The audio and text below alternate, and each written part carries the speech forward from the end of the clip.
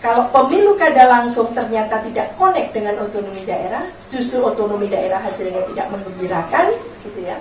Ini yang patut harus cepat direview oleh negara ini, oleh DPR dan pemerintah, oleh kita semua yang ikut mengawal bagaimana pemerintah dan DPR ini mereview itu. Ini yang harusnya memang menjadi satu uh, peringatan keras ya, khususnya bagi uh, pembenahan atau revisi undang-undang pilkada dan revisi undang-undang bukan revisi RUU pilkada dan revisi undang-undang ODA untuk ke depan itu memang harus merumuskan itu supaya aplikatif untuk long term. Tidak hanya sampai di 2014 menjelang 2014 akan ada revisi-revisi yang seperti ini. Jadi kita harapkan Pak Agung karena sudah malang melintang dengan semua rumusan ini dan mengetahui implikasi kalau tidak langsung seperti itu, langsung seperti ini, negara ini mau dibawa ke mana, menurut saya kita percayakan bahwa rumusan-rumusan ke depan bukan rumusan kepentingan sesaat, tapi rumusan untuk kepentingan nasional yang paling tidak lah untuk sampai setelah dua tiga kali pemilu lah kita. Mungkin itu Mas Gusti uh, beberapa catatan penting salah okay. saya. Wassalamualaikum warahmatullahi wabarakatuh. Oke, menarik sekali. Mari kita beri plus ke tiga pembicara kita.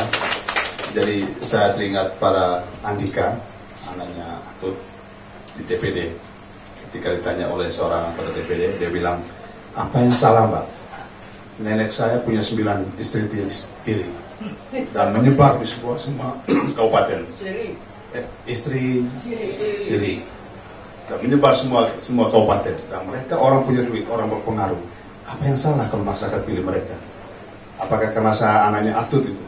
Jadi itu itu itu pertanyaan. Nah mungkin yang salah seperti Mbak Bibi bilang partai politik itu bisa Pak Agung bisa komentar soal itu. Ini partai politik yang bermasalah. Tapi sudah terlambat, pemilu sudah selesai. Mungkin ada RUU Pemda itu yang belum selesai. Pak. Ya, ada uh, secara jujur kami yang mengatakan ini bukan persoalan atut ya, yang kita bicarakan. Itu Bagus Hasan itu seorang yang memang punya pengaruh karisma yang luar biasa. Itu abaikan. Yang justru harus dikembangkan ke depan menurut teman kami bukan pada sisi itunya saja. Jadi bedakan antara politik kekerabatan dengan praktek-praktek penyalahgunaan kekuasaan, korupsi dan sebagainya. Itu dua dua hal yang harus di, dibedakan. Nah, oleh karena itu ke depan ini juga menjadi bagian yang dikatakan oleh Bu Buro itu partai politik tidak bisa lepas dari tanggung jawab. Saya seberapa? Karena fenomena politik yang terjadi akhir-akhir ini katakanlah ya dengan di Mahkamah Konstitusinya dan lain sebagainya itu. Jujur saya mengatakan dengan upaya gerakan penegakan hukum yang juga masif dilakukan oleh KPK yang dalam kacamata saya juga KPK-nya juga perlu kita reformasi juga gitu. Ya jujur saya mengatakan nggak, nggak juga terlalu bagus. Ada yang udah setahun nggak jelas-jelas gitu kan banyak yang aneh-aneh lah. Jadi kalau mau tulis bilang aja KPK banyak juga yang aneh-aneh. Tapi kan nggak laku itu dibuat. Saya nggak terlalu nggak terlalu takut juga dimusuhin. Emang biasa dimusuhin. Nah, tapi maksud kami itu adalah uh, ada bagian-bagian tertentu akibat dari proses yang sebetulnya juga tidak sempurna itu. Sebetulnya saya juga nggak nggak bangga bangga amat dengan prestasi KPK gitu biasa-biasa aja gitu. Apalagi bisa lebih luar biasa. Itu dampaknya aja terasa oleh hari ini. Jangan dikira terhadap partai politik tidak berdampak. Luar biasa. Dampaknya luar biasa. Saya yang bergelut di dalam itu, itu luar biasa lah dampaknya. Untuk mencegah pada tindak pidana pelanggaran-pelanggaran beri jadi jangan dikatakan tidak ada manfaatnya. langkah berikutnya menurut teman kami ya di undang-undang pilkada yang akan datang di undang-undang pilkada yang akan datang harus diatur. Ya kita tidak bisa juga berdalih. Setiap warga negara bersamaan kedudukannya di muka hukum dan pemerintahan. Boleh boleh. Ada syarat yang lebih selektif. Syarat yang lebih selektif itu apa misalkan ya kalau mau pakai lembaga survei kasih survei deh tingkat elektabilitasnya bagaimana gitu. Jadi jangan juga sampai memilih orang tanpa tanpa ada persyaratan. Makanya saya lebih pada ukuran ya dia sudah berdomisili di situ paling tidak terukur gitu. Pernah jadi warga di situ berapa puluh tahun? 20 tahun tidak perlu juga harus lahir di situ tapi dia pernah menetap berdomisili di situ. Memiliki pendidikan memiliki keahlian pengalaman pengorganisasian.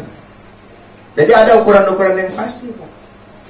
Yang dibuktikan dengan misalkan oh dia pernah memimpin organisasi apa pun minimal 10 tahun atau minimal lima tahun itu terukur. Jangan ujuk-ujuk. Ini kan yang sering terjadi ini kan politik ujuk-ujuk. Jadi jangan hanya karena anak sang penguasa nah, tiba-tiba duduk di tampuk kekuasaan. Ukurannya apa? Ini harus ada ukuran yang jelas. Kalau di partai misalkan itu. Juga jelas Pak. Untuk jadi syarat anggota DPR ini ini yang menurut teman kami mungkin perlu kita kembangkan. Oke, sekarang kita buka ke diskusi tanya jawab. Ada, nah kita begitu pilih, oh, ada banyak orangnya. Dari, dari sana aja, selama ini dari kanan kamu tadi, dari Ustadz Munif, Kartoyo, anti demokrasi, tokoh anti demokrasi. Terus uh, Pak belakang dulu, Pak John, Papua, baru Pamul. Nah. Oke, okay, nama media. Ya, John. Terima kasih bisa aja. Pak Agun, Bu Siti dan Pak Burhan. Eh, pada prinsipnya politik dinasti ini memang mungkin secara secara psikologis akan tetap uh, akan akan akan menjadikan kekuasaannya untuk disalahgunakan atau untuk separuh. Atau tetap akan terjadi tren atau tren of corrupt tetap akan akan kecenderungannya ke sana. Dan karena itu jika politik dinasti ini tetap dipertahankan korupsi penyimpangan tetap akan dilindungi oleh kerabat-kerabat. Dan itu sesuatu yang yang yang niscaya. Tidak mungkin Uh, kecuali memang ada ada pemimpin yang benar-benar mencintai negara atau daerahnya misalnya kayak Nabi akan potong tangannya jika uh, Siti Fatimah sampai uh, mencuri. Dan itu mustahil di negara kita dalam sekarang. Karena itu kemudian tumbuh kembangnya politik dinasti yang subur kemudian terjadilah itu yang kapan jual beli suara melalui MK bukan saja melalui kafir tapi melalui MK di Singapura bayangkan.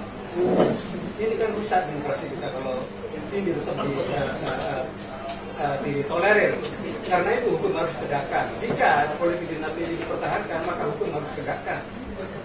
Uh, karena itu pertanyaan saya, apakah kepada Pak Adul sejauh mana RUU Pilkada yang mengatur politik dinasti ini uh, uh, sudah di, dibahas dan dirumuskan? Terima kasih.